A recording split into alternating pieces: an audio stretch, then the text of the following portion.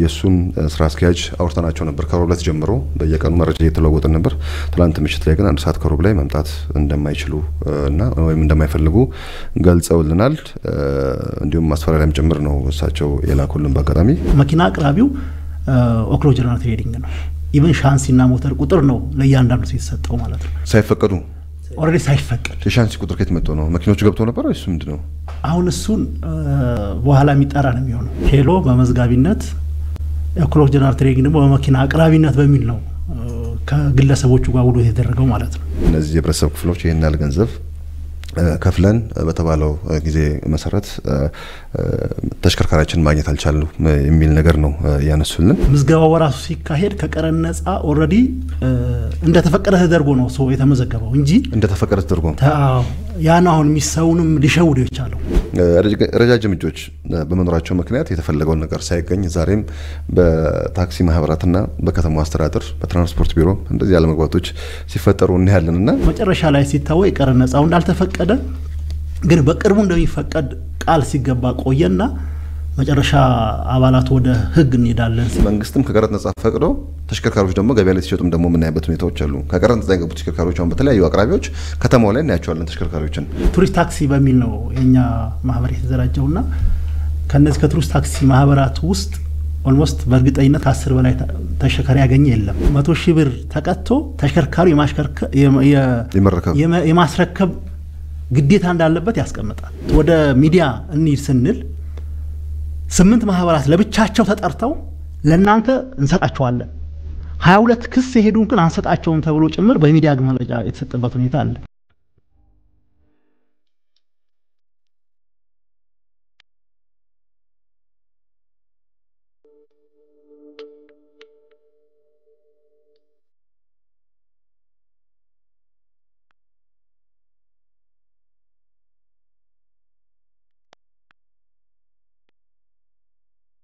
ሰላም ጤና ይስጥልን። የተከበራችሁ ውድ አሀዱ አድማጭ ቤተሰቦች እንደምን ሰንብታችኋል? ይህ ባለ ፕሮሞሽን አገልግሎትና በአሀዱ ሬዲዮ ጋር ትብብር የተዘጋጀ ወደ እናንተ የሚደርሰው ሳምንታዊ ውልደና ነው። ከዝግጅቱ ጋር እንደ ሁልጊዜ ለሁለት ሰዓት ያህል የቀጥታ ቆይታ ጊዜ እንደሚኖረን በዛሬው ዝግጅታችን አንድ ርዕሰ ጉዳይ ይዘናል። ርዕሳችን አድርገን የመረጥ ነው በከተማችን እንዲህ በእድሜ የገፉ ታክሲዎችን ለመቀየር በከተማ አስተዳደርና በመንግስት ልዩ ትኩረት ተሰጥቶ እንቅስቃሴዎች መጀመራቸው ይታወቃል። ከዚህም ጋር ተያይዞ በተለያዩ ወቅቶች ላይ የተለያዩ ሀሳቦች ይነሳሉ። ለዛሬም በአንድ ሀሳብ ላይ እንወያይ ያለን በዚህም ላይ ምላሽ የሚሰጡ አንድ አራት የሚሆኑ እንግዶችን እዚህ ስቱዲዮ ተገኝተዋል። እንግዶች አቶ ጉሽ መብራቱ የቱሪስት ታክሲ ማህበር ሰብሳቢ፣ እንዲሁም አቶ ተመስገን ወለልኝ በትራንስፖርት ዘርፍ ከፍተኛ ባለሙያ፣ አቶ ጸጋዬ በቀለ የቱሪስት ታክሲ ማህበር አብይ ኮሚቴ ምክትል ሰብሳቢ፣ እንዲሁም አቶ ፍጹም አብርሃ የአሚጎስ ስራ አስኪያጅ ናቸው። ከእነዚህ ከአራት እንግዶች ጋር እየተወያየን ቆይታ የምናደርግ ነው የሚሆነው። ከዝግጅቱ ጋር አብራችሁ የምቆየው አምዶወርቅ ንጉሴ፣ ቴክኒኩን በጥራት ወደ እናንተ ማድረስ ለአነት ኪዳኔ አብራኝ ትቆያለች። እንግዶች እንኳን ደህና መጣችሁ። መልካም። የሜትር ታክሲ ሲባል ለአንድ ሀገር ለአንድ ከተማ ያለውን አስፈላጊነት ምን እንደሚመስል የተወሰነ ነገሮችን እንመልከት። እች ከተማ ከኒውዮርክ ከጄኔቭ ቀጥላ ሶስተኛ ዲፕሎማት ከተማ ናት። የተሻሉ ነገሮች ያስፈልጓታል። ከዚህ በፊት የነበሩ የከተማችን ነጭ በሰማያዊ ታክሲ 50 ዓመትና ከዛም በላይ የሆናቸው ተሽከርካሪዎች ከመኖራቸው ጋር በተያያዘ በከተማው አስተዳደር ልዩ ትኩረት ሰጥቶ ከቀረጥ ነጻ ዕድሎች እንዲመቻቹ ተደርጎ በመንግስት የከተማውን ገጽታም የትራንስፖርት ገጽታንም ከመቀየር አንጻር ሰፋፊ ስራዎች እየተሰሩ ያሉበት ሁኔታዎች እንደነበሩ ይታወቃል። ግን ብዙዎቹ ያው በርካታ ጥያቄዎችን ይዘው ይመጣሉ። ዛሬም የተለያዩ አካላት እኛ ጋር መብታችን ተጥሰዋል፣ ያለ ማግኘት ያለብንን ጥቅም አላገኘንም፣ ከዛም ሲያልፍ መንግስት ባቀደው መሰረት የከተማዋን የተሻሉ ተሽከርካሪዎችን ለቱሪስት ታክሲ ልንጠቀም ብለን መሆን አልቻለም የሚሉ ነገሮች ተነስተው ነበርና እስኪ እሱን እናጠረዋለን። ግን የሜትር ታክሲ አስፈላጊነት በአንድ ከተማ ላይ መገለጫው በሚባሉ ነገሮች ላይ እናንሳ። አቶ ተመስገን። እሺ፣ አመሰግናለሁ። ያው ታክሲ አገልግሎት ለአንድ ከተማ ማህበረሰብ ተደራሽም ለማድረግ አገልግሎትም ለማግኘት አስፈላጊ ከሆኑት የትራንስፖርት አማራጮች አንዱ ነው። እንግዲህ ታክሲ የሚባለው በዓለም አቀፍ ደረጃ ለመጀመሪያ ጊዜ የተጀመረው በ1899 በፈረንሳይ ዋና ከተማ ፓሪስ ነው። ከዛ ለንደን፣ ኒውዮርክ እያለ ከዛ ጀምሮ እየሰፋ ያው ሀገራችንም ለዚህ የዚህ ትራንስፖርት service አገልግሎት ተጠቃሚ ሆነዋል። ስለዚህ ያን ታክሲ የምንለው የትራንስፖርት አማራጭ መሰረታዊ የሚባሉ አምስት ጥቅሞች አሉት። እነዚህን ዝም ብለን highlight እናያቸውና ወደ ዋናው ውይይታችን እንገባለን። ታክሲ ከሌሎች የትራንስፖርት አማራጮች የበለጠ ተመራጭ የሚያደርግበት አንደኛው ምክንያት flexible መሆኑ ወይም ደግሞ እንደፈለግን መጠቀም የምንችለው መሆኑ ነው። 24 ሰዓት በሳምንት እስከ ሳምንት 7 24 የሚለውን አገልግሎት ማግኘት የምንችለው በብዙሀን ትራንስፖርት ሳይሆን በታክሲ ነው። ያ ማለት አንድ ሰው በፈለገን ጊዜ የፈለገው ቦታ ለመሄድ flexible በመሆኑ ታክሲን ይመርጣል። በተለይ ደግሞ ተደራሽ የህዝብ ትራንስፖርት ተደራሽ የማይሆኑበት ሰዓት አለ። ማታ ለምሳሌ 38 percent የሚሆነው ህዝብ ማታ ላይ ትራንስፖርትን የሚጠቀመው ታክሲን ነው እና ታክሲ 24 ሰዓት የምንገለገልበት door to door service ነው፣ ከቤት ቤት የሚያደርስ ከአንድ ቤት አሁን ሌሎች ትራንስፖርት አማራጮችን ስናይ የተወሰነ corner ን ይሸፍናሉ፣ የተወሰነ destination አላቸው፣ stop ም አላቸው። እዛ ጋ ነው ሊጥሉን የሚችሉ እንጂ እስከ ቤታችን ሊወስዱ አይችሉም። ስለዚህ flexible መሆኑ አንዱ ተመራጭ ያደርገዋል። ሌላው ደግሞ ምንድነው accessible መሆኑ ነው። ወይም ደግሞ በሌሎች ሌሎችን ማህበረሰብ ተደራሽ ያላደረጉት ግን በታክሲ ተደራሽ የሚሆኑ አንዱ እሱ ነው። ሌላው ምንድነው ሴፍ ነው። በተለይ ወደ በጣም ወደ እንትን ሀገራት ስንሄድ ወደ አደጉት ሀገራት ስንሄድ አሁን ተሽከርካሪዎችን አሁን እንቀይር እያልን አደለ ያለ ነው። ታክሲዎችን የምንቀየርበት አንዱ መሰረታዊ ነገር ምንድን ነው? ታክሲዎች ያረጁና ያፈጁ ናቸው፣ ለአደጋ የተጋለጡ ናቸው። ስለዚህ እነሱን ወደ ዘመናዊ ወደ አዲሱን ቀይር ነው። ወደ አደጉ ሀገራት ስንሄድ የአንድ ታክሲ አገልግሎት የሚሰጠው ከሌሎች ተሽከርካሪዎች ባነሰ። ፈረንሳይ ብንሄድ ታክሲ ሁለት ነጥብ አምስት አመትና ከዛ በታች ሶስት አመትና ከዛ በታች ነው። ከዛ በላይ የሆነ ተሽከርካሪ መጠቀም አይቻልም፣ ለታክሲ ማለት ነው። ሌሎች ግን እስከ ስምንት ዓመት ድረስ ይፈቀድላቸዋል ሌሎች ተሽከርካሪዎች። ያ ማለት አሁን ለታክሲ privilege ተሰጥቷል ማለት ነው። ታክሲዎች አዲስ ምቹና በሌሎች ተገልጋዮች ተመራጭ እንዲሆኑ ያግዛል ማለት ነው። so ወደዛ እንድንሄድ ነው አሁን ትልቁ ቁም ነገር እና እስኪ ሌሎችን ጠቀሜታዎችና እንትኖችን እንመለስበታለን። ለመግቢያ ያህል ጥሩ መረጃ ነው። ሁለት ነጥብ አምስት አመት ማለት ሁለት አመት ሶስት አመት ያልሞላው ታክሲ ነው በተሻሉ ከተሞች ላይ አገልግሎት ላይ የሚሆነው የሚል ነገር ነው በባለሙያ የተነሳው። ይህ ደግሞ ወቅቱን የዋጁ ስራዎችም እንዲሰሩ ከማስቻል አንጻር የራሱ የሆነ ሚና ያለው በእኛ ሀገርም ከለውጡ ማግስት ጀምሮ በከተማ አስተዳደር አንዳንድ እንቅስቃሴዎች በቀድሞ የአዲስ ከተማ ከንቲባ በኢንጂነር ታከለ ኡማ በእሳቸው አነሳሽነት የተሞከሩ ነገሮች እንደነበሩ አስታውሳለሁ።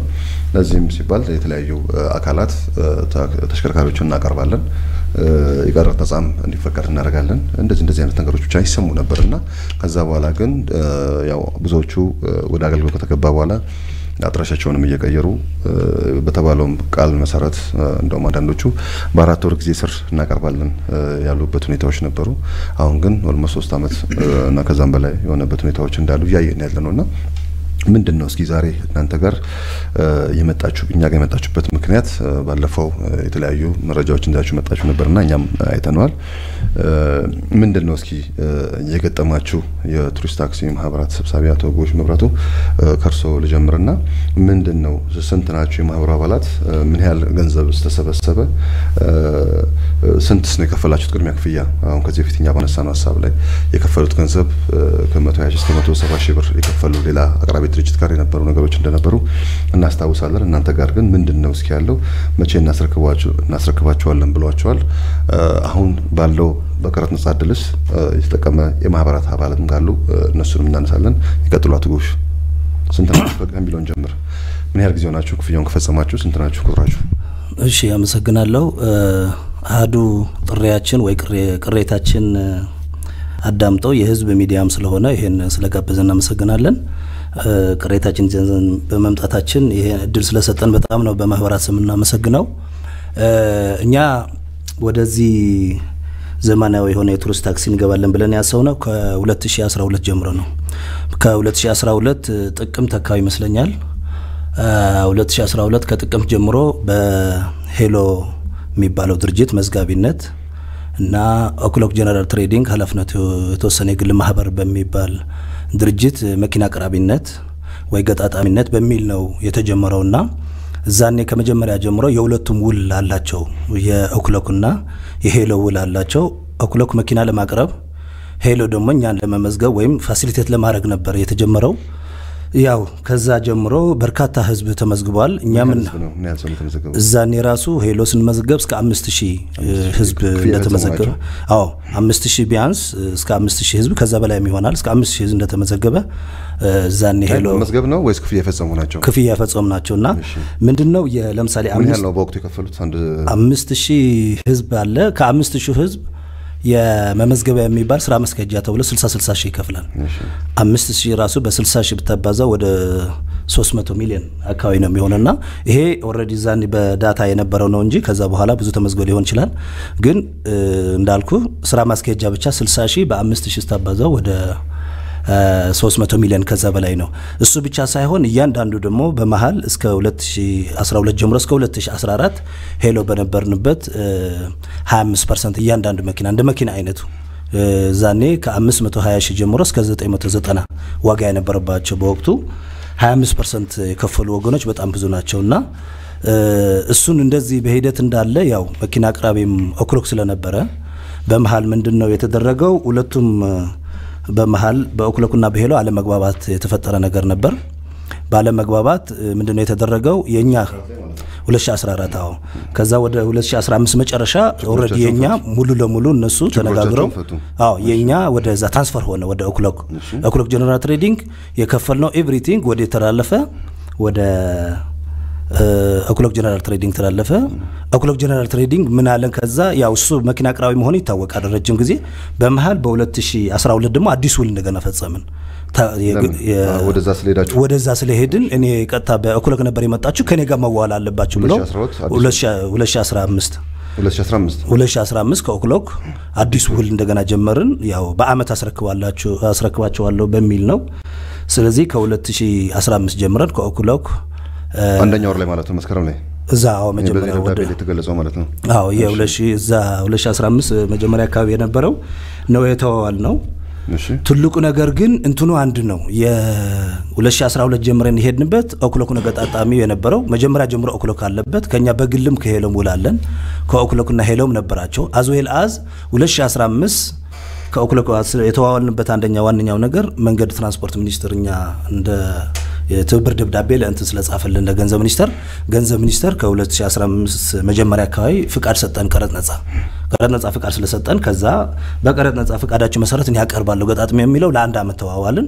ያው እንደምታየው process ኡ ዞሮ ዞሮ የሚጀምረው ከ2012 ጀምሮ እስከ 2016 መኪና ማግኘት አልቻልንም ነው። agreement ኣችሁ 2015 ከሆነ እንዴት ነው ወደ 2012 መጣችሁ መዋል የምትችሉት? አሁን ከዚህ company ጋር በጣም ሁለት company ነበር። ከዛ ወደ አንድ ምረት ሲደረግ agreement ኡን ወደ 2015 ነው ያመጣችሁት። 2015 የተዋዋልንበት ምክንያት ቀረጥ ነጻ አዲስ በ2015 ስላገኘን ነው እንጂ የሚጀምረው ከ2012 ጀምሮ መውነት ምክንያቱም ከ2015 ከ2012 ጀምሮ አቅራቢ ማን ነው? ኦክሎክ ነው። ስለዛ ከእነሱ ጋር ያላችሁ agreement የአንድ ዓመት ነው ማለት በአንድ ዓመት ጊዜ ስር እናቀርባለን ብሏቸው የነበሩት እስኪ ግልጽ እያደረግ ነው ብዬ ነው። የቀረጥ ነጻ ካገኘን በኋላ ከ2015 ነው የተዋዋልነው ከኦክሎክ። ከዛ በፊት ያለው ክፍያዎቹ process ግን ኦክሎክ ሲጠቀምበት የቆየ ከ2012 ጀምሮ የቀረጥ ነጻውን እድል የሚያመቻቸው ማን ነው? የማህበራት እኛ ነን ናቸው። እኛ ራሳችን ማህበራት ብዙ ከአርባ በላይ ማህበራት አለን። አቅራቢ ድርጅት ወይ ደግሞ ትራንስፖርትና ሎጂስቲክስ ሚኒስቴር አይደለም። ትራ- ትራንስፖርትና ሎጂስቲክስ ሚኒስትር ጥሩ ነገር ያደረገው ምንድነው? ትብብር ነው የሚጽፍልን። ትብብር በዚህ በዚህ ተደራጅተው በዘመናዊ ታክሲ ቱሪስት እንዲሰሩ ብለው ትራንስፖርትና ሎጂስቲክስ ሚኒስትር ደብዳቤ ለምን ጻፈልን። ያህል ጊዜ ነው የቀረጥ ነጻ እድል የተሰጣችሁ? ክፍት አይደለም። ከተወሰነ በኋላ የሚዘጋበት ሁኔታዎች አሉና አለ። ማለት ከገንዘብ ሚኒስትርም እያወራን ስለነበር fixed በዚህ በዚህ ያላለንም እንደምንጠቀምበት ረዘም ያለ ጊዜ አለ። እሱ ችግር የለውም። ይሄ ነው እ፣ ያን ቁጥራችሁም ታውቀዋል። እናስረክባቸውን የተባላችሁት አንድ ዓመት ጊዜ ነው ከአንድ ዓመት ጊዜ ነው። አሁን ዞሮ ዞሮ የኦክሎክ የሚጀምረው አሁን ከውሏ ነው። ቀረጥ ነጻ ስለመጣች ነው ውሏ specific ሆና 2015 የተዋዋልነው እንጂ የጀመረው ቻንሲ ቁጥሩ ሞተር ቁጥሩን ቀድሞ ኦክሎክ ሰጥቶን ነበር። የት እያለን ኦክሎክ ላይ ሄሎ ላይ መዝግቦ እያለን ሄሎ ላይ መዘገበን አደለ ሄሎ ላይ እያለን ከ2012 ጀምሮ ቻንሲ ቁጥርና ሞተር ቁጥር በኦክሎክ መኪና አቅራቢነት ጀምሮ process ከዛ ነው የሚጀምረው የኦክሎክ እኮ በዚህ መሀል የቀረጥ ነጻ እድል ለምን አላገኛችሁም ብዬ ነው እኮ በመሀል process ላይ ነበርን። ያ ገንዘብ ከፍለን የሚከፈሉን ከፍለን ሞተር ቁጥርና ቻንስ ቁጥር ከኦክሎክ እየወሰድን የማህበራት የቀረጥ ነጻ process እየሄድን ነበር እየሄድን ነበር። መጀመሪያ 2015 አካባቢ ሲፈቀድልን ቀጥታ በአዲስ ቀረጥ ነጻ ደግሞ እ፣ አሳድስ ነው ማለት ነው። ግን ይሄ የአገልግሎት ክፍያ ራሱ የሚባለው እርስ ያሉት አሁን 300 ሚሊዮን ብር ምንድን ነው? ምን አይነት አገልግሎት ነው ያለው? አገልግሎቱስ እናንተን ይመለከታሉ? አሁን አንዳንዴ አንዳንድ ብልጣብልጥ ተቋማት የሚያዘጋጇቸው agreement ኦች more ጥቅማቸውን ወደ እነሱ ባደረገና አንዳንዴ ደግሞ ገብቷቸው ይሁን ሳይገባቸው የማህበር ሰብሳቢ የሚሆኑ ሰዎች እና በአቅራቢ ተቋማት የጥቅም ስር የሚፈጠሩ ነገሮች ናቸው። አሁን ከዚህ በፊት በነበረ አንድ አቅራቢ ድርጅት ላይ ብሄርንበት ረጅም ጊዜ የእነሱን ጥቅም የማስጠበቅ ወይ ደግሞ የማህበር አባላት ሲመጡ ቅድሚያ እነሱ የሚያገኙበት ተሽከርካሪዎችንም ምንም ምንም ደሞዝተኛ የሚሆኑ ሰዎች እንዳሉ አይተናል ከዚህ በፊት እና አሁን በዚህ መሀል ላይ ራሱ ስልሳ ሺህ ብር የአገልግሎት ሲባል በዛ ወቅት ላይ agreement ላይ ራሱ መካተቱ ትንሽ እንትን ስለመሰለኝ ነው። ሰው አንድ ተቋም አቅራቢ ከሆነ መሸጥ ነው ይሱራል። የቀረጥ ነጻ እድል ደግሞ ከተነሳለት ለሚመለከተው አካል መስጠት ነው። ያው ዛሬ በዚህ ፕሮግራም ላይ በርካታ አካላትን ነበር የጋበዝነው። ያው መገኘት ስላልቻሉ ነው። መጀመሪያም ደግሞ የእናንተንም ድምፅ ወይም ሀሳብ እንስማ ብለን ነው ትራንስፖርትና ሎጂስቲክስ ሚኒስቴር ሚኒስቴሩንም ዶክተር አለሙ ስሜንም እንዲሁ ሚኒስቴር የታቸው አቶ በረውንም ያው በዚህ ጉዳይ ላይ contact አድርገናቸው ነበር። ያው ቀጣይ እነሱን ምላሽ የምናካትትበት ሁኔታዎች ይኖራል። አዲስ አበባ ትራንስፖርት ቢሮ አቶ ምትኩ አስማረንም እንዲሁ አውርተናቸዋል በዚህ ጉዳይ ላይ እስኪ ያሉ ነገሮችን በደንብ አድርገን ከተወያየንበት በኋላ ሌሎችን አካላት የምናካትትበት ሁኔታዎች ሊኖሩ ይችላሉ። ግን ዋናው ይህ አቅራቢ ድርጅቱ ነው። ኦክሎክ አቅራቢው company የእሱን ስራ አስኪያጅ አውርተናቸው ነበር ከሮብ ዕለት ጀምሮ በየቀኑ መረጃ እየተለዋወጥን ነበር። ትላንት ምሽት ላይ ግን አንድ ሰዓት ከሩብ ላይ መምጣት እንደማይችሉ እና ወይም እንደማይፈልጉ ገልጸውልናል። እንዲሁም ማስፈራሪያም ጭምር ነው እሳቸው የላኩልን። በአጋጣሚ እስኪ ነገሮች ወዴት እንደሚሄዱ እኛ የምናያቸዋለን የምናየው ነው የሚሆነው። ያው እኛ ያልነው በጋራ እናወያያቸው እነዚህ የህብረተሰብ ክፍሎች ይህን ያህል ገንዘብ ከፍለን በተባለው ጊዜ መሰረት ተሽከርካሪያችን ማግኘት አልቻሉ የሚል ነገር ነው ያነሱልን። ይሄ ከዚህ በፊትም እንደዚህ አይነት አሰራሮች አሁን ከተማዋ ላይ በብዛት እየተለመዱ የመጡበት ሁኔታዎች እንዳሉ እያየን ያለ ነው። ምንም ነገር ባልተያያዘበት ሰዓት ላይ መሀል ከተማ ላይ በአንድ ሚሊዮን ብር ባለ ሶስት መኝታ ቤት ታገኛላችሁ ተብሎ የሰዎች ገንዘብ ከተሰበሰቡ በኋላ ቦታውን ማግኘት አልተቻለም ይባላል። በዛ ገንዘብ ይሰራል። ባለ ነጋዴዎቹ ወይም ደግሞ እንደዚህ ታሳቢ ያላቸውም አካላት ገንዘቡን ይሰሩበታል። ከዛ የባንክ interest አለ። ብዙ ብዙ ጥቅሞች አሉ። አሁን እንደዚሁ እንደ አገልግሎት እንደተባለው ክፍያ አይነት ነገር ማለት ነው እና በዚህ ሁኔታ ላይ መንግስት ጠንካራ ያሉ ህጎችን ማውጣት ካልተቻለ ትንሽ ብዙ የሚያነጋግሩ ነገሮችን እንደ ሀገር ይዞ ሊመጣ ስለሚችል የሌላም የመልካም አስተዳደርም ችግር ይዞ የሚመጣበት ሁኔታዎች ስለሚኖሩ ያው ጥንቃቄ መደረግም እንዳለበት ይሰማናል እና ምንድን ነው እስኪ አሁን አባላቶቹ ከፍተኛ ቁጥር ያላቸው አባላቶች ናቸው። አምስት ሺህ ማለት በእነዚህ በትራንስፖርት ሴክተር የተሰማሩ የሜትር ታክሲ እናገኛለን ብለው ክፍያ የፈጸሙ አካላት እንደሆኑ ነው እየነገራችሁ ያላችሁት እና ከቀረጥ ነጻ ከተፈቀደ በኋላ ምንድን ነው ብድር ከሆነ አካል ጋር ማመቻቸት ነው ያለው ነገር ምንድን ነው? እስኪ እሱን የምናንሰው ብዙ ጊዜ ከባንክ ጋር ወይ ደግሞ ብድር ከሚሰጥ አካል ጋር የሚገናኝበት ሁኔታዎች አሉ። ትንሽ ውስብስብ የሚያደርጋቸው አሉ። ስለዚህ ተቋም ሲሆን ከዚህ በፊት የነበሩ ተቋማት ላይ ረጃጅም እጆች በመኖራቸው ምክንያት የተፈለገውን ነገር ሳይገኝ ዛሬም በታክሲ ማህበራትና በከተማው አስተዳደር በትራንስፖርት ቢሮ እንደዚህ አለመግባቶች ሲፈጠሩ እናያለን እና አንዳንዴ አግሪመንቱ ላይ የተቀመጠው ነገር ነው። ብዙ ጊዜ ያው ሰነድ ነው የሚያስተዳድሩት አይደል አንዳንድ ተቋማት እና ስንፈርም እኛ በቀላሉ ተሽከርካሪዎች እጃችን ላይ ይገባሉ የሚሉ ነገሮችን ብቻ ከግምት ውስጥ ባስገባ ሁኔታ እና አንዳንድ articleኦች agreementኡ ላይ ያሉ articleኦች ግን ያው የእኛን ጥቅም አሳልፈን እንድናጣ የሚያደርጉበት ሁኔታዎች አሉና እስኪ አቶ ጸጋዬ አንዳንድ ነገሮች አሁን የተነሱ ሰፊ ነገሮች ናቸውና የእርስዎ ምላሽ እንዳለን እስኪ ስልሳ ስልሳ ሺህ ብር ሄሎ ሲቀበል ለእያንዳንዱ ሰው agreement አለው። በዛ ሰነድ ላይ ሄሎ በመዝጋቢነት ኤኮሎክ ጀነራል ትሬዲንግ ደግሞ በመኪና አቅራቢነት በሚል ነው ከግለሰቦቹ ጋር ውሎ የተደረገው ማለት ነው። ስለዚህ ያኔ ምዝገባው በራሱ ሲካሄድ ከቀረጥ ነጻ already እንደተፈቀደ ተደርጎ ነው ሰው የተመዘገበው እንጂ እንደተፈቀደ ተደርጎ ያን አሁን የሚሰውንም ሊሸውድ የቻለው በኋላ ላይ ግን የተለያየ ስብሰባዎች ተካሄዱ። ለምንድን ነው የሚል ቅሬታ አነሳ አባሉ። በዚህ ሰዓት መጨረሻ ላይ ሲታወቅ የቀረጥ ነጻው እንዳልተፈቀደ ግን በቅርቡ እንደሚፈቀድ ቃል ሲገባ ቆየና መጨረሻ አባላት ወደ ህግ እንሄዳለን ሲል ቆይ የ2012ና የ2015ቱ agreement ይለያያል። agreementኡ ይለያያል። የ2012 agreement ከሄሎ ጋር ነው የተደረገው። አይ አንቀጾቹን ነው እኔ articleኦቹ ላይ የተካተቱት ነገር ነው ማሰብ የፈለግኩት ከእከሌ ከእከሌ ሳይሆን articleኦቹ ላይ አንዴ ከየሆነ አካል ጋር ሲደረግ ከዛ ደግሞ ሁለተኛ ዙር ሲደረግ የአረጎቹ ወይም ደግሞ የ articleኦቹ ልዩነት ካለው በዛ ነው ያው መሄድ የምንችለው ብዬ ነው። እሺ ዞሮ ዞሮ articleኦች ላይ ዋናነት ምንድን ነው መዝጋቢው አካል መኪና ሊያቀርብ ሳይሆን ለመመዝገብ ብቻ ነው። መኪና አቅራቢው ኦክሎ ጀነራል ትሬዲንግ ነው። even ሻንሲና ሞተር ቁጥር ነው ለእያንዳንዱ የተሰጠው ማለት ነው። በዛ መሰረት ከቀረጥ ነጻው ሳይፈቀዱ already ሳይፈቀድ የሻንሲ ቁጥር ከየት መጥቶ ነው? መኪኖቹ ገብተው ነበር ወይስ ምንድን ነው? አሁን እሱን በኋላ የሚጠራ ነው የሚሆነው። ለአባሉ ግን በእያንዳንዱ አይ ሽያጭ ባልተካሄደበት ሁኔታ ላይ የሻንሲ ቁጥርና የሞተር ቁጥር መስጠት ምን ማለት ነው? ያ መኪና እኮ almost ሽያጭ ተካሂዷል ማለት ነው።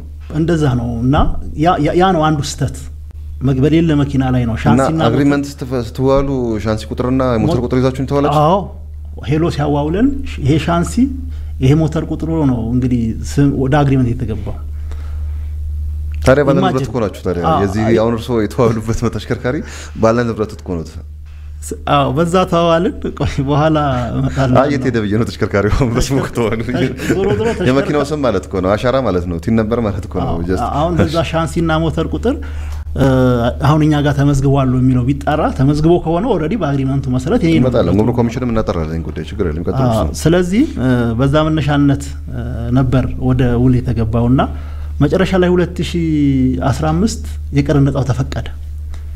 የቀረጥ ነጻው ሲፈቀድ መጀመሪያም ሄሎ በነገራችን ላይ የቀረጥ ነጻው ከመፈቀዱ በፊት የመኪናዎቹ 25 percent በ block account አስገብተናል። 25 percent 25 percent ምን ያህል ገንዘብ ነው?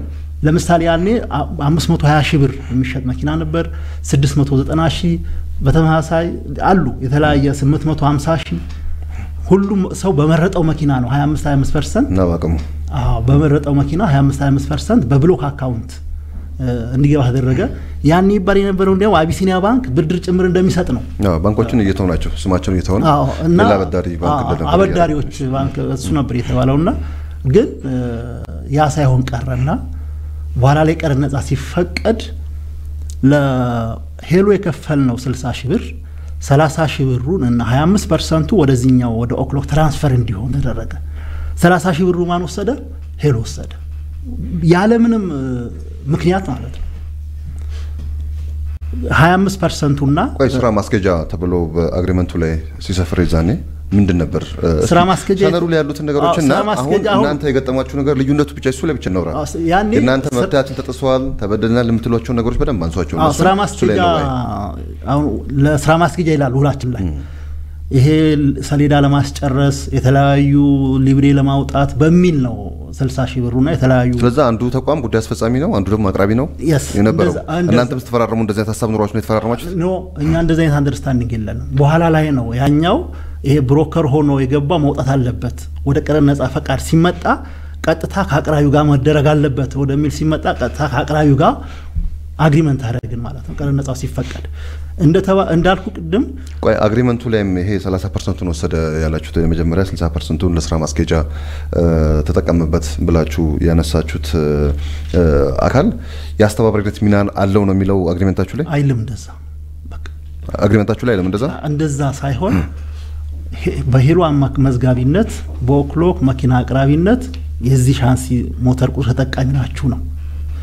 ከሱ ላይ ከኔ ምን ይጠበቃል ከዛኛው ምን ይጠበቃል የሚል ዝርዝር ነገር አለ። አሁን detail ውሉ ካየ ነው ሶስት አራት ገጽ ነው።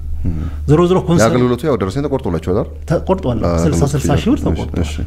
ግን መጨረሻ ላይ እንዳልኩ ከ60 ሺህ ብሩ 30 ሺህ ብሩ መዝጋቢ ወሰደ። 30 ሺህ ብሩ ደግሞ ወደ ኦክሎክ ጀነራል ትሬዲንግ shift ተደረገ ማለት ከ25 percent ክፍያውን ጋር ከዛ በኋላ ወደ ኦክሎክ ስንመጣ ለምሳሌ የአንድ ሰው እ፣ እ፣ 520 ሺህ ብር ያሉትን ተሽከርካሪ የእሱ 25 percent ምን ያህል ነው የሚሆነው? almost መቶ ሰላሳ ሺህ አካባቢ ነው። ስለዛ አንድ ሰው 130 ሺህ ብር ከፍሏል። ስለዛ እነዚህ 5 ሺህ አባላት ከ130 ሺህ ብር ጀምሮ እስከ ከዛም በላይ ከፍ እስካለ ድረስ ገንዘብ ከፍሏል ማለት ነው። ሁሉም ከፍለዋል የሚለው እሱ አሁን እንደኛ ማህበሩ እኮ የአባሎቻችሁን እ፣ ግን ቁጥር 60 ሺህ ብር ታውቃላችሁ፣ ክፈሉ የከፈሉና እንጂ ያልከፈሉት? ሁ- ሁሉም በየማህበሩ ስለሆነ አሁን ሁሉም ያን አልከፍለዋል የሚለው በየማህበሩ የሚጠራ ነው። ዞሮ ግን ዞሮ ዞሮ ግን ብዙዎቹ ከፍለዋል በዛን ሰዓት። ከዛ በኋላ ከኦክሎ ጋር agreement ስናደርግ 690 ሺህ ብር የነበረው መኪና አንድ ሚሊዮን 450 ሺህ ሆነ አንድ የዶላር ዋጋ መለያየቱ ማለት ነው። ያው ዋጋው ግሽበቱ ነው ወይስ ምንድን ነው? ምክንያቱም እዛ 2012 ነበር ያ ዋጋ 2015 ላይ ስንመጣ የግሽበት ምናምን ተባለና 1 ሚሊዮን 450 ሺህ ብር ውላችሁስ ምን ይላል? ዋጋ ሲጨምር እንጨምራለን የሚል ነገር አካታችሁበታል ወይስ ከዛ ውጪ ነው ይሄን ተጨማሪ ክፍያ እንድትከፍሉ already? የሁለተኛውን agreement ከኦክሎክ ላይ ተግ- ሁሉም ፈረመ ተግባብቶ ማለት ነው። በሱ መነሻነት ደግሞ እንደገና 35 percent ይከፈል ተባለ። በአዲሱ ዋጋ መነሻነት ማለት ነው። ብዙ አባላት 35 percent ከፈሉ። እንግዲህ 35 percent ስታሰላው ለምሳሌ 1 ሚሊዮን 450 ሺህ የሆነ ተሽከርካሪ እሱ 35 percent መጀመሪያ የተከፈለው 25 percent ኡን ተጨምሮ ጉድለቱን ሞልቶ ሁሉንም ሁሉም ሰው አባል ከፈለ ማለት ነው። አሁን ከከፈለ ሲከፍል ያኔ በአራተኛ ወር ነው almost ውል ያደረግነው እና በአንድ አመት ጊዜ ውስጥ መኪናው ሊያቀርብ ነው የተደረገው። ግን አሁን ስናየው አንድ አመት አልፎ already ዛሬ ላይ አንድ አመት ከአምስት ከስድስት ወር በላይ አልፎታል። ስለዚህ በስምምነታችን መሰረት አሁን መኪና አቅርብልን ስንል ነው ጭቅጭቅ የተነሳው። በ agreement አችን ላይ ምን ይላል? 35 percent ቅድሚያ ክፍያ፣ 65 percent ደግሞ ከአበዳሪ ተቋም guarantee መምጣት አለበት ይላል። በውላችን መሰረት ብዙ አባላት almost ከአራት መቶ ሰው በላይ guarantee ደብዳቤ አቀረበ። አሚጎስ ብድርና ቁጠባ ተቋም እንግዲህ ይህን ከቀረበ በኋላ መኪና ይቅረብልን ስንል ያው እስከ ዛሬ ሊያቀርብልን አልቻለም። ግን የአንድ አመት ከነበረ agreement አችሁ አሁን እኔ ሰነዱን የፈረማችሁትን ሰነድ የተወሰኑትን ለማየት ሞክሬ ነበር እና አንዳንድ article ኦች ያልገቡኝ article ኦች አሉ። ስለዛ እናንተ ከመፈረማችሁ በፊት ሙሉን አይታችሁን የፈረማችሁት እያንዳንዱን agreement አንዳንዴ በማህበር ሰብሳቢዎችና በተለያዩ አካላት ይመጣና form በ mass ይፈርማሉ። አሁን ከዚህ በፊት የነበረ አንድ አቅራቢ ድርጅት ላይ አንድ ትልቅ ሆቴል ላይ ነበርኩኝ። ቦታው ላይ ወረቀት ተበተነ እንዳለ ፈርሙ እንዲሉት በአጋጣሚ እኔ የሰነዱን ሳየው ግን በጣም አሳሪና በቃ ምንም ለአቅራቢ ተቋሙ ብቻ የተመቸ እሱ በሚፈልገው መልኩ የሚጠቀምበት ዛሬም ቢሆን ሰዎች ገንዘባቸውን መውሰድ እንኳን ሲፈልጉ የሆነ percent ተቆርጦባቸው ድጋሚ እሱን ማግኘት ያልቻሉበት ሁኔታዎች እንዳሉ እያየን ያለ ነው። ትላንትና 2012 ላይ የነበረው ገንዘብና ዛሬ ያንን ገንዘብ ብናየው የመግዛት አቅሙ በከፍተኛ ሁኔታ ልዩነት አለው። ሌላ አካላት ግን እየተጠቀሙ የሚወጡበት ሁኔታ፣ ሌላው ሰፊው ማህበረሰብ ግን የሚጎዳበት ሁኔታዎች እንዳሉ እያየው ነው ያሉት እና አንዳንድ አርቲክሎች ላይ ጥንቃቄ ማድረግ ካልተቻለ አንድ ሀሳብ ብዙ ነገር ይዛ የምትመጣበት ሁኔታዎች አሉ። ስለዛ አሁን 2015 ከተዋላችሁ በኋላ ይህ ተቋም የሰጣችሁ አንድ አመት ጊዜ ነው እና ምንድን ነው እስኪ እዚህ ያለውን ጥፋት ብቻ እንድትነግሩኝ የፈለኩት እኔ እኔ አሁን 2012 የሚለውን ሰነድ አይቻለሁ። ተጋጩ፣ ሁለቱ ተጋጩ። ለክላውድ ወርልድ ዋይድ ሄሎ ታክሲ ኃላፊነት የተወሰነ የግል ማህበር ይላል። በ2012 11 12 የተደረገ የመኪና ሽያጭ ውል ስምምነት ማፍረስን ይመለከታል የሚል article ነው እዚህ ላይ ያለው። ከዛ ደግሞ የሄሎ ቤተሰቦች በሙሉ በሚል ደግሞ በጋራ ደግሞ አክሎግ ጄኔራል ትሬዲንግ እና ሄሎ ታክሲ ደግሞ በጋራ መስራት እንደጀመሩ በ28 1 2015 ደግሞ እሱንም ሰነድ አይቻለሁ እና አሁን በአንድ አመት ጊዜ ስር እናስረከባለን የተባለው ምን ያህል ተሽከርካሪዎችን ነው? ምን ያህልስ ተረክባቸዋል? የተረከባችሁትም ካለ እሱንም እያነሳ እንሂድ። አንዳንዴ አልተረከብንም ሲባል እኛ ስላልተረከብን ብቻ አባሎቻችሁም ያልተረከቡበት ሁኔታዎች አሉ ተብሎ ላይታሰብ ይችላል እና አንዳንዴ መንግስትም ከቀረጥ ነጻ ፈቅዶ ተሽከርካሪዎች ደግሞ ገበያ ላይ ሲሸጡም ደግሞ የምናይበት ሁኔታዎች አሉ። ከቀረጥ ነጻ የገቡ ተሽከርካሪዎች አሁን በተለያዩ አቅራቢዎች ከተማው ላይ እናያቸዋለን። ተሽከርካሪዎችን እነ ተሽከርካሪዎች ህብረተሰቡ ጋር እንዴት ደረሱ የሚሉ ነገሮች ሌላ further ጥናት የሚያስፈልገው ነገሩ ነው። እናንተ ጋር ግን እስኪ ያለውን ነገር አንሱልኝ። ያው complain አችሁ አንዱ ስለሆነ ብዬ ነው። በዋናነት እኛ አሁን ቱሪስት ታክሲ በሚል ነው የኛ ማህበር የተደራጀው እና ከነዚህ ከቱሪስት ታክሲ ማህበራት ውስጥ almost በእርግጠኝነት ከአስር በላይ ተሽከርካሪ ያገኘ የለም። ግን አግኝታችኋል? ያም የተገኘበት ምክንያት ጥምር ኮሚቴ ተብሎ የተዋቀሩ አካላት ነበር። አስተባባሪ እኮ ለአስተባባሪ ቅድሚያ ለአስተባባሪ ያው ቅድሚያ ሲሰጥ ከአሰራር ውጭ ነው ይሁን ለእነሱ መነሻውም አይታወቅም ለምን ተሰጠ ግን አንድ ማህበር ሲባል ሁሉም አባላቶች እኩል መብት ነው ያላቸው አይደለ? ስለዛ አስተባባሪ የሆነ ሌላውም የከፈለውን ሰው እኩል ነው ማግኘት ካለበት ማግኘት ያለበት እና እነዚህ ሰዎች ምን ያህል percent ኡን በዚህን ያህል ጊዜ ይህን ያህል ቁጥር ያለው ተሽከርካሪ እንሰጣለን፣ ይህን ያህል ጊዜ ይህን ያህል ቁጥር። አንዳንዴ እኛ ባልገባን ሁኔታ ብዙ ነገሮች ስለሚፈጠሩ ነው እንደዚህ አይነት ስራው ሲጀመሩ ሚኒስትሮችም ጭምር አሻጩ ነው የሚመጡበት ሁኔታዎች አሉ እያየን ያለ ነው። እና ሰው ደግሞ የመንግስት ሚኒስቴር የሆኑ ሰዎችን ሲያይ እምነት ይኖረዋል፣ ገንዘቡን ይከፍላል። አውቀውም ይሁን ሳያውቁም ገንዘብ ለመስራት የሚሆን ተቋማትን ለመርዳት ወይ የተሻለ አገልግሎትም እንዲገኝ ከመፈለግም አንጻር ሊሆን ይችላል እነዚህ አካላት እንደዚህ አይነት ስራዎች ላይ የሚሳተፉት እና ግን ዛሬ ግን ያው ዋጋ የሚያስከፍሉ ነገሮች ነገ ተጠያቂነትም ሲመጣ ፈርዘር ድረስ የሚመጣበት ሁኔታዎች ይኖራሉ እና እስኪ እዚህ ያለው ነገር ያጥሩልኛል። ዞሮ ዞሮ እኛ በውላችን መሰረት ለሁሉም ግዴታ ለተወጣ አባል በአንድ አመት ጊዜ ውስጥ ተሽከርካሪ መስጠት አለበት ይሄ ባይሰጥ ግን መቶ ሺህ ብር ተቀጦ ጭምር ለማህበሩ ተሽከርካሪ እንደሚያሽከረክር ነው የሚያስገድደው። መቶ ሺህ ብር ተቀጥቶ አዎ መቶ ሺህ ብር ተቀጥቶ ተሽከርካሪ የማስረከብ ግዴታ እንዳለበት ያስቀምጣል። ያለ አግባብ የወሰደ ሰው በወቅቱ ያድርጉልኝ። በአንድ ዓመት ጊዜ ውስጥ በውሉ መሰረት ግዴታቸው ለተወጡ አባላት ተሽከርካሪ ያላስረከበ ወይንም ውሉ ያፈረሰ መቶ ሺህ ብር ተቀጥቶ ተሽከርካሪውን ጭምር ያስረክባል ነው። በአንድ ዓመት ጊዜ ውስጥ አሁን ውል ያልተወጣው ዋናው ማህበራት ሳይሆኑ ተሽከርካሪ አቅራቢው ኦክሎ ትሬዲንግ ስለዚህ በዚህ መሰረት እሰጥዎታለሁ አቶ ጸጋዬ። አሁን በአንድ ዓመት ጊዜ ስር ከሆነ agreement አችሁ በአንድ ዓመት ጊዜ ስር ይህን ያህል ተሽከርካሪ፣ በሁለት ወር ጊዜ ስር ይህን ያህል ተሽከርካሪ፣ አሁን ከዚህ በፊት የነበረው አቅራቢ በአራት ወር ጊዜ ስር ይህን ያህል ቁጥር ያለው ተሽከርካሪ ብሎ ነው agreement ላይ የነበረው። አሁን እናንተ በዚህን ያህል ጊዜ ይህን ያህል ተሽከርካሪ ተብሎ ያን በዛ ወቅት ላይ ያን ተሽከርካሪ ማግኘት ካልቻላችሁ እ፣ ስህተት ነው የሚሆነው። ግን በአንድ ዓመት ጊዜ ከተባለ ዓመቱ አልቋል? አመቱ already አልቋል። አሁን እኮ ወደዚህ መናገር አመቱ ስላለቀ እሺ፣ አይ 2015 ስለተባለ? 2015 አራተኛ ወር ላይ ነው agreement ያደረገው ብዙ ማህበር። አሁን ላይ ግን almost አመት ከአምስት ወር ምናምን አካባቢ እንደዚህ እያጠራ ነው እንደሚፈልግ ስለዚህ በዚህ ስምምነት መሰረት ተሽከርካሪ ሲሰጠን ነው። ሲነሳ የነበረው አንዱ በቂ አበዳሪ ተቋም አላገኛችሁ የሚል ነበር። አበዳሪ ተቋሙ ደግሞ guarantee ደብዳቤ የሰጣቸው ከአራት መቶ በላይ አባላት አሉ። የቀረጥ ነፃ ነው። የቀረነጻው ከነዚህ አባላት ውስጥ አንድም ሰው ተሽከርካሪ አላገኘም። የተወሰኑ አልፎ አልፎ ቅድም እንዳልኩ አንድ ተደራጅተን ትግል እንዳናረግ ለመለጠል በሚል ስትራቴጂ አልፎ አልፎ የተሰጣቸው አሉ። አሁንም ይብን እኛ አሁን ከኛ ማህበራት ወደ ሚዲያ እንሂድ ስንል ስምንት ማህበራት ለብቻቸው ተጠርተው ለእናንተ እንሰጣቸዋለን ሀያ ሁለት ክስ የሄዱን ግን አንሰጣቸውም ተብሎ ጭምር በሚዲያ መግለጫ የተሰጠበት ሁኔታ አለ። አንድ ሚዲያ ላይ ብትገባ ስለዚህ እስከዚህ ነው አሁን ወደ ግን እናንተ ውክልና አላችሁ። የማህበራት አሁን ትላንትም ከአንዱ ኃላፊ ከተቋሙ ኃላፊ ውክልና የሌላቸው ሰዎች ናቸው በዚህ ሁኔታ እየተንቀሳቀሱ ያሉት የሚሉ ነገሮች ተነስተዋል። እና ቅድም ደግሞ እርሶ ካነሱት ሀሳብ ጋር ተያይዤ አቶ ሙላይንም አቶ ሙላይ ወልዱን የገንዘብ ሚኒስቴር የታክስ ፖሊሲ ዳይሬክተር ከእሳቸው ጋር ትላንት ምሽት ስናወራ ነበር። እና ስለዚህ ተቋም ብዙ መረጃ እንደሌላቸውና እ፣ ግን ይሄ አሰራር ግን የሚፈቀደው ከዚህ ከታክሲ ማህበራት የነጻ የማውጣት ፍቃድ ከትራንስፖርትና ሎጂስቲክስ ሚኒስቴር ተረጋግጦ ሲመጣና ከከሌ ግዙ አትግዙም የሚለው ኃላፊነት የኛ አይደለም። ከአቅራቢዎች ጋር ምንም እኛ የሚያገናኝም ነገር የለም የሚሉ ነገሮችና ግን በተጠራው ሰዓት መምጣትና ያለውን አሰራር ማስረዳት እችላለሁ ብለውናል። ያው ተባባሪያችን ናቸው አቶ ሙላይ ወልዱም እንዲህ ለሚኒስተር ዴኤታውም ለዶክተር ዮብም ያለውን ነገር ከእሳቸው ጋር የሚያወራንበት ሁኔታዎች አሉ።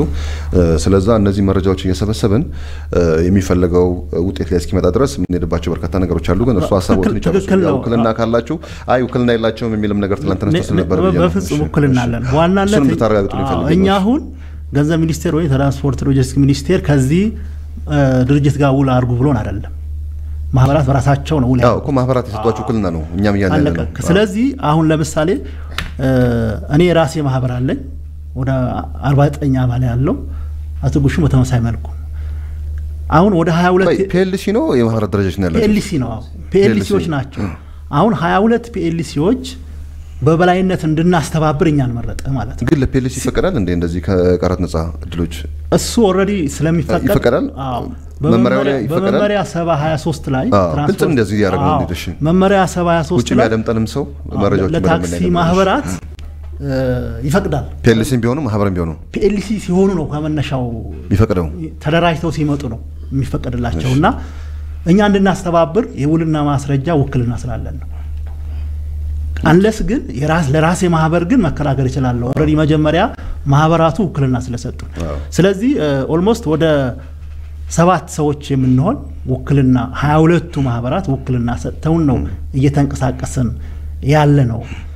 በዛ መልክ እንዳንሄድ ግን ይፈለጋል። ምክንያቱም ተደራጅተን መብታችን እንዳናስከብር እና እንዳናስከብር ጭምር ብዙ ትግሎች እየደረጉ ነውና በዚህ መነሻነት ነው እኛም ወደዚህ ልንመጣ የቻል ነው። አንዱ በወቅቱ ካለማስረከብ ጋር አንዱ ችግር ሆኖ ሌላው ደግሞ serious ችግር አግባብነት የሌለው የዋጋ መጨመር ቅድም አንስተናል 690 ሺህ ሄሎ ጋር ስንዋዋል 690 ሺህ የነበረ አንድ ተሽከርካሪ ዋጋ ከእነሱ ጋር በምን ያህል ጊዜ ነበር ሊያስረክቧቸው የነበሩት እነሱስ? አሁን መሀል ላይ ያለውን የወቅት ጨዋታን ነው እንድናስበው የፈለኩት። ያው ብዙ ጊዜ እንደዚህ አይነት ጨዋታዎች ናቸው የብዙሀኑን ጥቅም የሚያሳጡትና የወረቀት የ document የሀሳብ ነገሮች እነሱ ጋር የዛኔ 2012 ላይ ስትዋዋሉ በምን ያህል ጊዜ ነበር እናስረክባቸዋለን ብለው የነበሩት እነሱ? መዝጋቢው አካልና አቅራቢው አካል ከስድስት ወር agreement ታችሁ ላይ ከስድስት ወር እስከ አንድ ዓመት ይል ነበር። አዎ አዎ ስድስት ወር እስከ ዓመት ከሄሎ የነበረ ነው። አዎ። ከዛ ግን ሙሉ ለሙሉ shift ስላደረግን ወደዛ ወደ ኦክሎክ አዎ። ከ2015 ግን የተዋዋልነው በአንድ ዓመት ነው። አንድ ዓመቱም አሁን ወደ አራት ወር አምስት ወር አልፈዋል። እኮ agreement ታችሁ ላይ ለምሳሌ ይህን ያህል ጊዜ ገንዘቡ ሲቆይ የገንዘቡ አቅም እያነሰን የመጣው ገንዘብ አሁን በአሁኑ ሰዓት ትላንትናና ዛሬ value እኩል አይደለም ያለው። ስለዛ የኃላፊነት የሚወድቅበት አካል አልነበረም። አሁን ቅድም እርሱ ያሉት ነገር አለ። መቶ ሺህ ብር ተቀጥቶ መኪናውን ይረከባል የሚል ነገር አለ። ከዛ ሲያልፍ ደግሞ አንዳንድ የኃላፊነቱ የሚወድቅበት አካል ከሌለ ሰነድ ላይ በሚደረጉ ጨዋታዎች ብቻ ብዙ ሰዎች ጥቅማቸው ሊያጡ ስለሚችሉ ብዬ ነው። እኮ በወቅቱ ተሽከርካሪ ቢያስረክበን ይሄ በሙሉ የለም። አሁን ላይ ግን አንድ አካል ግዴታ በውሉ መሰረት ግዴታው ካልተወጣ የገንዘብ value ም አለው። ያንንም value እኮ ወደ መጠየቅ መሄድ አይቀርም። 2012 ላይ 130 ሺህ የከፈለ ዛሬ ላይ value ስንት ነው ብለ ማስላት ቀላል ነው። ይሄንንም በደንብ clear ይታወቃል። እና በነገራችን ላይ በወቅቱ መኪና ባለመረከቡ ማህበራዊ ቀውስ ጭምር በአባላችን ላይ ደርሷል። በዚህ ምክንያት የታነቀ ሰው አለ፣ ራሱን ያጠፋ ሰው ትዳሩን ይፈታል። ኢማጅን ምክንያቱም ልጆች መኪና ይላሉ፣ ሚስት ለምን አልመጣም ትላለች። ተሽከርካሪ ሽጦ ለዚህ ይከፈላል። መሸጥ ትክክል አይደለም ብሎ ጸብ ውስጥ የገቡ ብዙ ማህበራት አባላት አሉ እና ማህበራዊ ቀውሱ ቀላል አይደለም። ሌላው መንግስት ከሚያጣው ጥቅም በተጨማሪ በግለሰቦች ላይ ራሱ ተጽዕኖ ያደረሰበት ሁኔታ አለ ነው። ስለዚህ ዋጋ ጭማሪው ራሱ አንድ ችግር ያለበት ነው። ቅድም even ከኦክሎክ ጋር አንድ ሚሊዮን አራት መቶ ሀምሳ ሺህ agree ያደርግ ነው። በኋላ ላይ በውላችን ላይ ምን ይላል? አንድ የዋጋ ጭማሪ የሚደረገው የሚታወቅ የባንክ ምንዛሪ ለውጥ ሲመጣ ነው ይላል፣ ሲኖር ነው ይላል። ከ2015 እስካሁን ድረስ ግን በመንግስት ይሄ ነው ተብሎ የውጭ ምንዛሪ ለውጥ አልታየም። ያ በሌለበት አንድ ነጥብ አንድ ሚሊዮን አራት መቶ ሀምሳ ሺህ አረጉት። ያ ቅድም ያልኩ ተሽከርካሪ አሁን ላይ ደግሞ አንድ ሚሊዮን ዘጠኝ መቶ ሀምሳ ሺህ አርገውት በዚህ ነው የምትዋዋሉት የሚልም ሌላ ውል በውላችሁ መሰረት መኪና ሳስረክቡ አሁን ሌላ ውል አዘጋጅተው በዚህ ዋጋ ተዋዋሉ የሚል ጥያቄ ነው እየመጣ ያለ። even በዚህም መሰረት ራሱ አንዳንድ ግለሰቦች ተዋውለው እሺ ብለው በዋጋው ተስማምተው ከአበዳሪ ተቋም የብድር ጋራንቲ ደብዳቤ ወስደው መኪና አሁንም የለም። ሶስት ሳምንት አራት ሳምንት ጠብቁ እየተባሉ ነው ያሉት። ግን በተለያዩ ሚዲያ ላይ ሁለት መቶ መኪናዎች አለን የፈለገ ሰው መጥቶ መውሰድ ይችላል ነው ሲባል የነበረው። ግን ዛሬ ደብዳቤ አበዳሪ ተቋም የሰጣቸው አካላት ይብን ው እስከ ዛሬ ቁጭ ብለዋል ማለት ነው። እና ይህንን ሀሳብ ያዙልኝ አቶ ጸጋይ፣ ቆንጆ ነው። ጥሩ ጥሩ ሀሳብ ነው እየተነሳ ያለው። ወደ አቶ ተመስገን ልምጣና ከዛ ወደ አበዳሪ ተቋም እመጣለሁ። አሁን ትንሽ እኔ ያልገባኝ የሻንሲ ቁጥርና የሞተር ቁጥር ማለት ምን ማለት ነው? የእርስዎ ትራንስፖርት ሰው ኖት። አሁንም ተቋም ላይ ሚኒስቴር መስሪያ ቤቱ ላይም ስራ እንዳሉ ታውቃለሁ። እና ምን ማለት ነው ግን አንድ ሻንሲ ቁጥርና ሞተር ቁጥር ተጠቅሶ agreement ተዋዋለ ማለት አንድ አካል ተሽከርካሪው እጁ ላይ ሳይኖር ነው ይሄን የሚያደርገው ወይስ ምንድን ነው? ወይስ በዚህ ስም የገቡ ተሽከርካሪዎች እንደዚህ ካሉ ተሽከርካሪዎቹ ለሌላ ለሶስተኛ ወገን ራሱ መስጠት አልፎ መስጠት ይቻላል? እስኪ ንገሩኝ እስቲ።